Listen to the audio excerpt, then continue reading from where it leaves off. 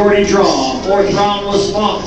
Following the fourth round, all three judges have decided a unanimous decision. Your fighter out of the red corner, Jonathan.